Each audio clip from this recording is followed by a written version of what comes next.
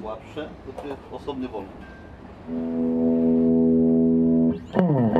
Takie sła- słabe ma całkowicie inne brzmienie.